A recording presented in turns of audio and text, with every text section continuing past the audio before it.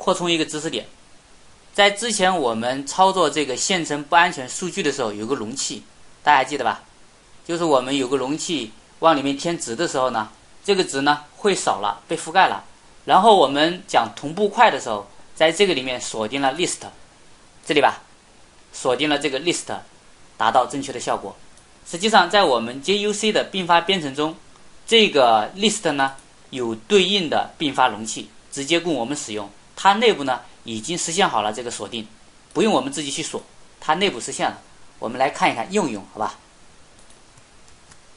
拷过来，我们改成 syn container 吧。线程安全操作并发容器。这个并发容器呢，实际上就是 import java 点 util 点 concurrent。这个 concurrent 在我们创建线程的第三个方式 callable 里面见过，对吧？来，直接有一个 copy on write array list，在写的基础上进行拷贝。实际上我们之前说过，线程的操作就读跟写嘛，所以它保证你写的时候呢是一个正确的拷贝，好吧？正确的复制，就是我们工作内存和主内存相互拷贝的过程中，相互写的过程中能够正确的控制。然后呢，我们将这个 list 呀改成它就可以了，改成它，将我们这个同步块拿掉，不需要了。它内部呢已经实现了，我们来看一看，搜一下，看看有没有 synchronize 的块。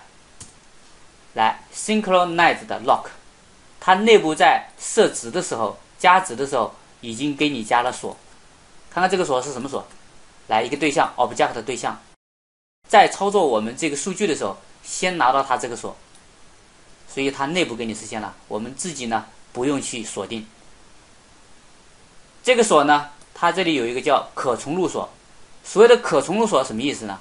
是指如果你一旦获得了这个锁，假设这里面的方法调方法，它可以把这个锁呢往下带的，就是 A 方法，假设你拿到了这个锁，B 方法，它可以把这个锁往下带。这就是一层一层往下走，否则拿到你这个锁进不到这个方法，那也白搭，对吧？因为它这里面涉及到方法的调用嘛，可以把这个锁往下带。这个后面呢，我们也会看一个例子，好吧？了解一下。来，把它关了，回到我们这个例子里运行一下，看看效果。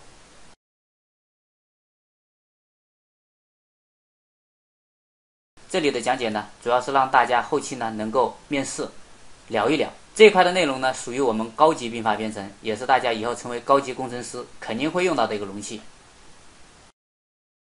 肯定会用到的一个容器。现阶段呢，我们是为了面试使用了，所以大家了解一下、认识一下，有个印象。当然，大家呢可以养成一个习惯，只要是我涉及到并发编程操作容器的时候，都可以想到并发容器，好吧？都有。这个知识点呢，我们就扩展到这里。